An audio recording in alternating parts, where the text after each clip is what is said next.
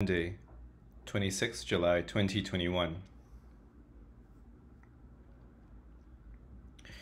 Jesus spoke to them, saying, I am the light of the world.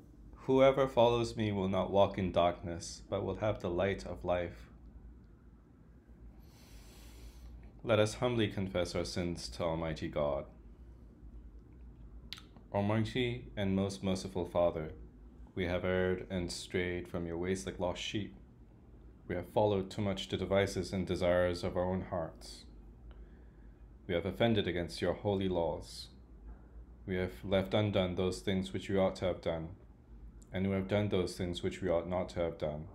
And apart from your grace, there is no health in us. O Lord, have mercy upon us. Spare all those who confess their faults. Restore all those who are penitent, according to your promises declared to all people in Christ Jesus our Lord. And grant, O most merciful Father, for his sake, that we may now live a godly, righteous, and sober life, to the glory of your holy name. Amen. Grant to your faithful people, merciful Lord, pardon and peace, that we may be cleansed from all our sins and serve you with a quiet mind. Through Jesus Christ our Lord. Amen. O Lord, open our lips, and our mouth shall proclaim your praise. O God, make speed to save us. O Lord, make haste to help us. Glory be to the Father, and to the Son, and to the Holy Spirit, as it was in the beginning, is now, and ever shall be, world without end. Amen. Praise the Lord. The Lord's name be praised. O gladsome light, pure brightness of the ever living Father in heaven, O Jesus Christ, holy and blessed, now as we come to the setting of the sun, and our eyes behold the vesper light, we sing your praises, O God, Father, Son, and Holy Spirit. You are worthy at all times to be praised by happy voices, O Son of God, O Giver of life, and to be glorified through all the worlds.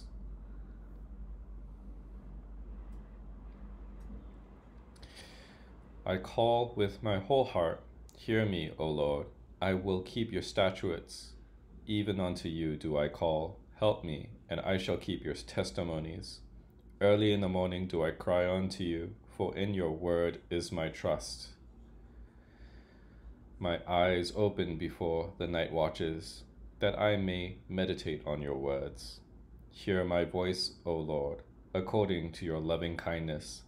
Give me life according to your judgments. They draw nigh, who in malice persecute me, and are far from your law. Be near at hand, O Lord, for all your commandments are true. Concerning your testimonies, I have long ago, I have known long ago that you have founded them forever. O consider my adversity and deliver me, for I do not forget your law. Plead my cause and deliver me. Give me long, give me life according to your word.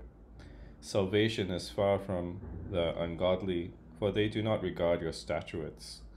Great is your mercy, O Lord. Give me life according to your judgments. Many there are who trouble me and persecute me, yet I do not swerve from your testimonies. It grieves me when I see the transgressors, because they do not keep your law. Consider, O Lord, how I love your commandments. O give me life according to your loving kindness. Your word is true from everlasting. All the judgments of your righteousness endure for evermore. Princes have persecuted me without a cause, but my heart stands in awe of your word. I am as glad of your word as one who finds great spoils. As for lies, I hate and abhor them, but your law do I love. Seven times a day do I praise you because of your righteous judgments. Great is the peace that you have. Great is the peace they have who love your law and find in it no stumbling block.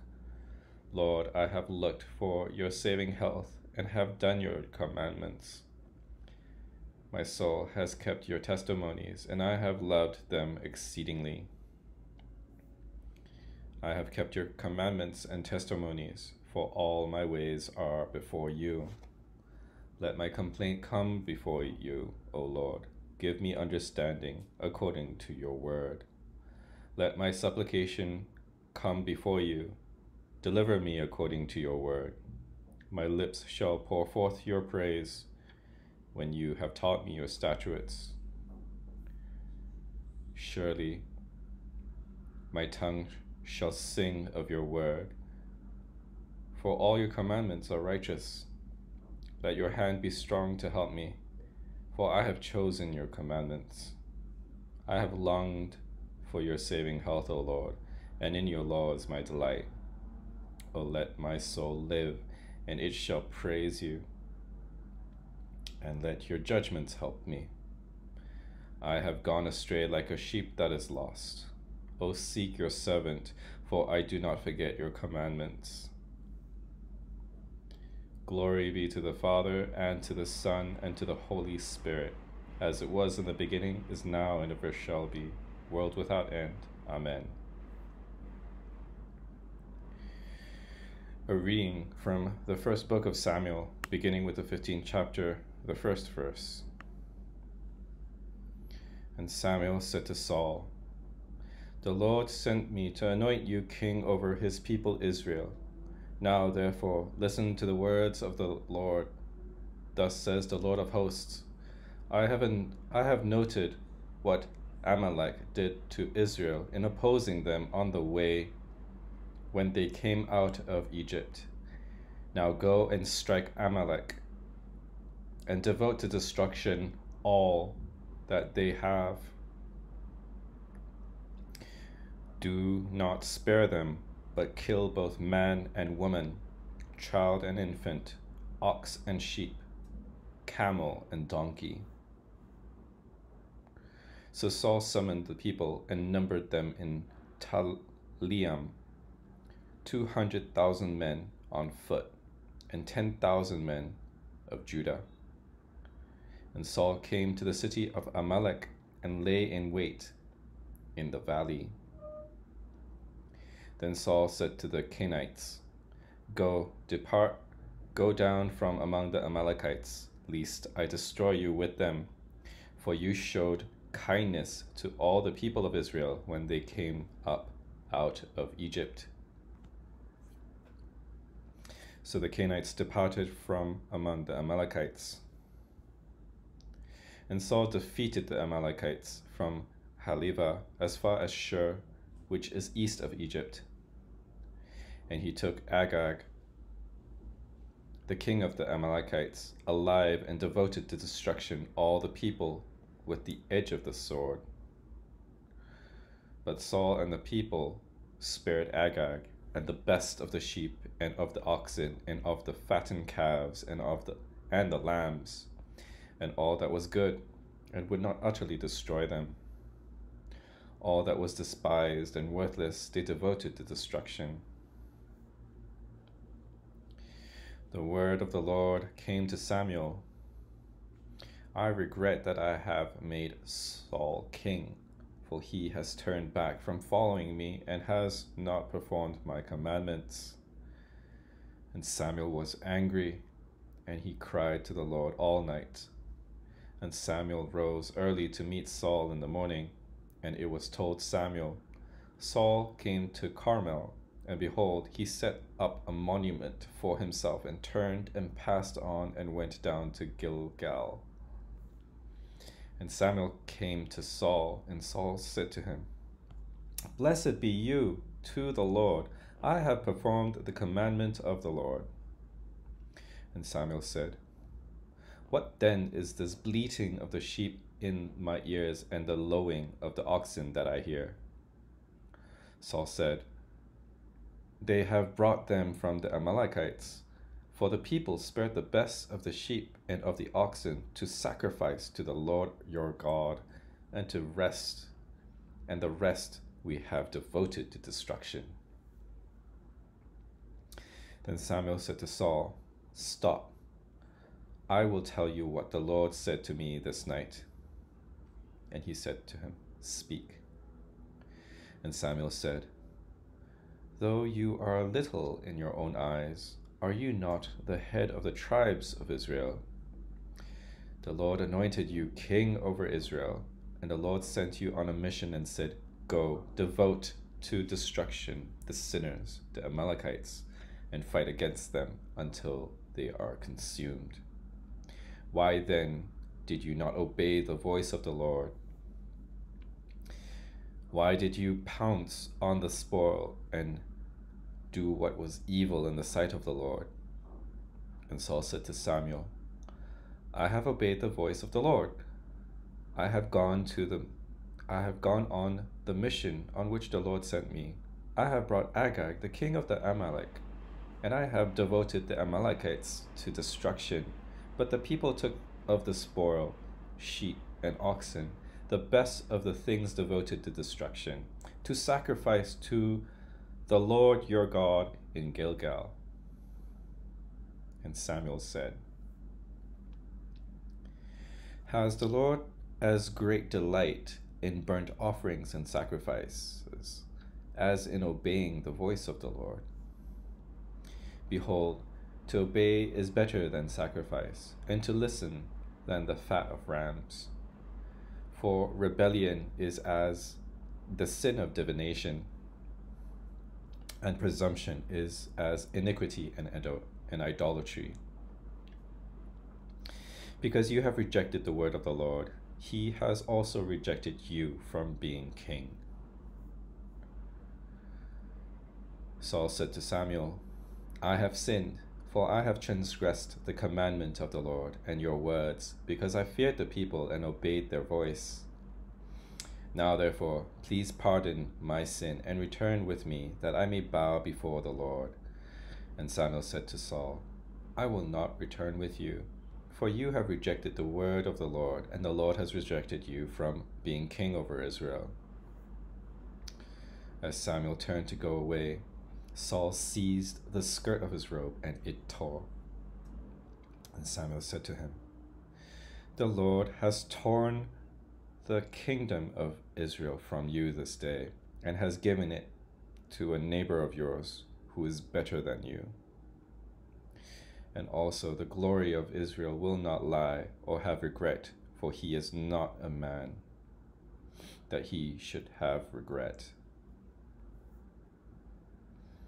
Then he said, I have sinned, yet honor me now before the elders of my people and before Israel, and return with me, that I may bow before the Lord your God.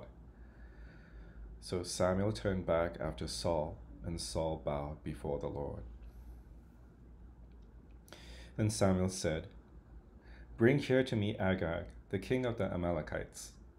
And Agag came to him cheerfully. Agag said, Surely the bitterness of death is past. And Samuel said, As your sword has made women childless, so shall your mother be childless among women. And Samuel hacked Agag to pieces before the Lord in Gilgal. Then Samuel went to Ramah, and Saul went up to his house at Gibeah of Saul. And Samuel did not see Saul again until the day of his death. But Samuel grieved over Saul, and the Lord regretted that he had made Saul king over Israel. This is the word of the Lord. Thanks be to God. My soul magnifies the Lord, and my spirit rejoices in God my Saviour for he has regarded the lowliness of his handmaiden. For behold, from now on all generations will call me blessed, for he that is mighty has magnified me, and holy is his name. And his mercy is on those who fear him throughout all generations. He has shown the strength of his arm. He has scattered the proud in the imagination of their hearts. He has brought down the mighty from their thrones, and has exalted the humble and meek. He has filled the hungry with good things, and the rich he has sent empty away. He, remembering his mercy, has helped his servant Israel, as he promised to our fathers Abraham and his seed forever. Glory be to the Father, and to the Son, and to the Holy Spirit, as it was in the beginning, is now, and ever shall be, world without end. Amen. A reading from St. Paul's second epistle to the Corinthians, beginning with the ninth chapter, the first verse. Now it is superfluous for me to write to you about the ministry for the saints, for I know your readiness, of which I boast about you to the people of Macedonia, saying that Achaia has been ready since last year. But your zeal has stirred up most of them, and your zeal has stirred up most of them. But I am sending the brothers so that our boasting about you may not prove empty in this matter so that you may be ready as I said you would be. Otherwise, if some Macedonians come with me and find that you are not ready, we would be humiliated, to say nothing of you, for being so confident. So I thought it necessary to urge the brothers to go on ahead to you and arrange in advance for the gift you have promised, so that it may be ready as a willing gift not as an exaction.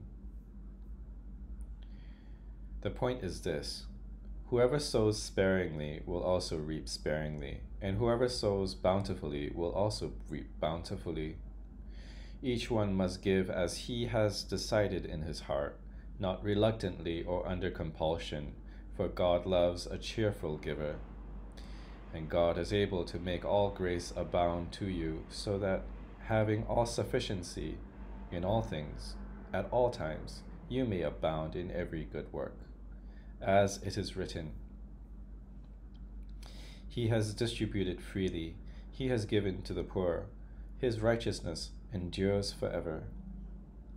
He who supplies seed to the sower and bread for food will supply and multiply your seed for sowing and increase the harvest of your righteousness. You will be enriched in every way to be generous in every way, which through us will produce thanksgiving to God. For the ministry of this service is not only supplying the needs of the saints, but is also overflowing in many thanksgivings to God.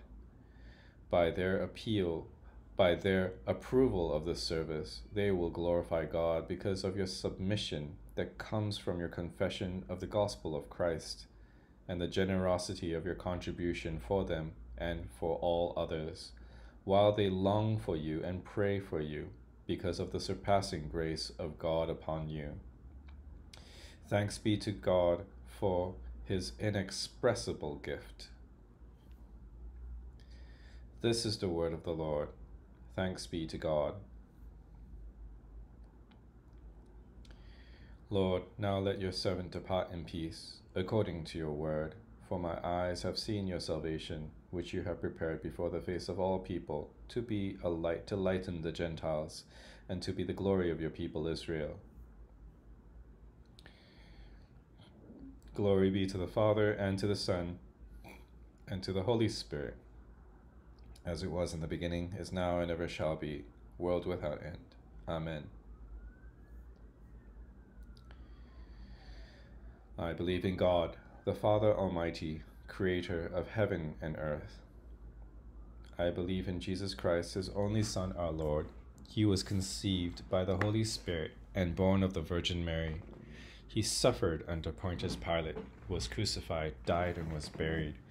He descended to the dead. On the third day he rose again. He ascended into heaven and is seated at the right hand of the Father.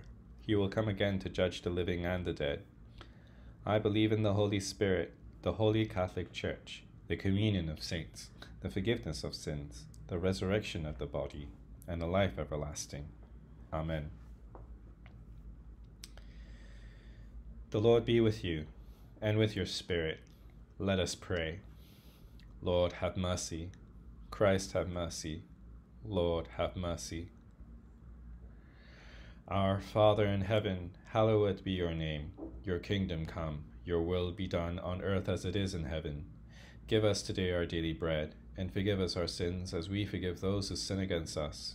Save us from the time of trial, and deliver us from evil. For the kingdom, the power, and the glory are yours, now and forever. Amen. That this evening may be holy, good, and peaceful, we entreat you, O Lord. That your holy angels may lead us in paths of peace and goodwill, we entreat you, O Lord.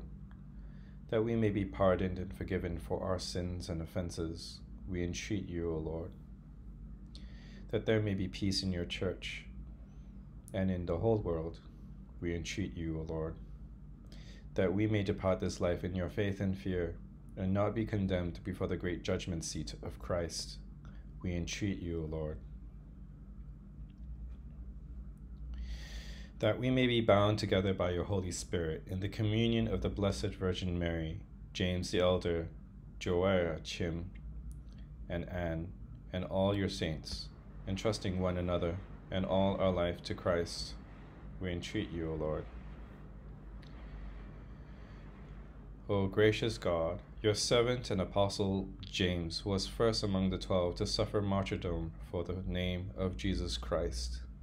Pour out upon the leaders of your church that spirit of self denying service, that by which they may have true authority among your people through Jesus Christ our Lord who lives and reigns with you and the Holy Spirit, one God, now and forever.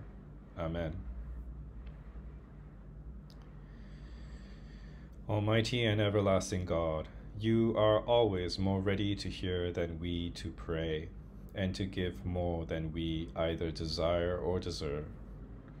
Pour down upon us the abundance of your mercy, forgiving us those things of which our conscience is afraid and giving us those things for which we are not worthy to ask, except through the merits and meditation of Jesus Christ our Lord, who lives and reigns with you and the Holy Spirit, one God, for ever and ever.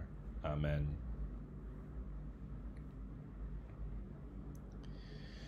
Almighty God, by your Holy Spirit you made us one with your saints in heaven and on earth Grant that in our earthly pilgrimage we may always be supported by this fellowship of love and prayer, and know ourselves to be surrounded by their witness to your power and mercy, for the sake of Jesus Christ, in whom all our intercessions are acceptable through, through the Spirit, and who lives and reigns with you and the same Spirit, one God, for ever and ever. Amen. O God, the source of all holy desires, all good counsels, and all just works, give to your servants that peace which the world cannot give, and our hearts, that our hearts may be set to obey your commandments, and that we, being defended from the fear of our enemies, may pass our time in rest and quietness, through the merits of Jesus Christ our Lord, Jesus Christ our Saviour. Amen. O God and Father of all, whom the whole heavens adore, let the whole earth also worship you, all nations obey you, all tongues confess and bless you, and men, women, and children everywhere love you and serve you in peace through Jesus Christ our Lord. Amen.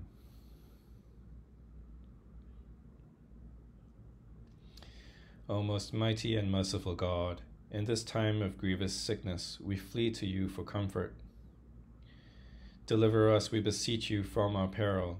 Give strength and skill to all those who minister to the sick. Prosper the means made use of for their cure, and grant that, perceiving how frail and uncertain our life is, we may apply our hearts unto that heavenly wisdom which leads to eternal life. Through Jesus Christ our Lord. Amen.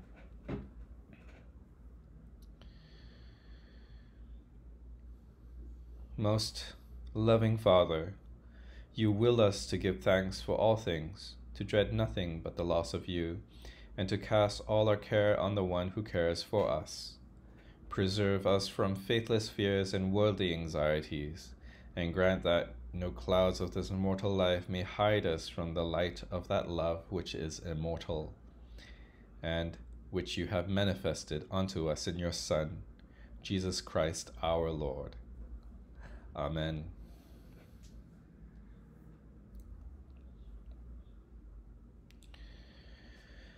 Almighty God, Father of all mercies, we, your unworthy servants, give you humble thanks for all your goodness and loving kindness to us and to all whom you have made.